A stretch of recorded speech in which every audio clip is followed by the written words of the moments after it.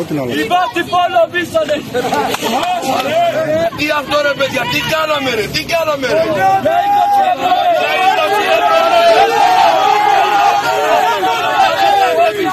Οι μαλάκες. Παιδάκι το 16χρονο. Μονιάδε. Για 20 ευρώ! Θα μας βρείτε από Για κάτω. 20 ευρώ Μάτσι. πουτανάκια! Για 20 ευρώ πουτανάκια! Η πράξη αυτή ήταν απαράδεκτη και ρατσιστική.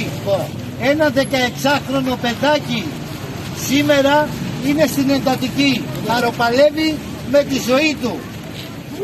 Οι αστυνομικοί όταν πήραν την εντολή ήξεραν ότι κυνηγούν ένα 16χρονο αγοράκι γιατί έβαλε 20 ευρώ βενζίνα και δεν κυνηγούσαν εγκληματία. Ένα ανήλικο παιδί με ένα παιδί παντρεμένο και σήμερα χαροπαρεύει.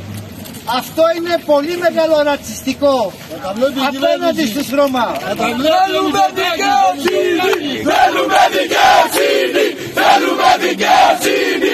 Θέλουμε δικαιοσύνη! Θέλουμε δικαιοσύνη! Θέλουμε δικαιοσύνη!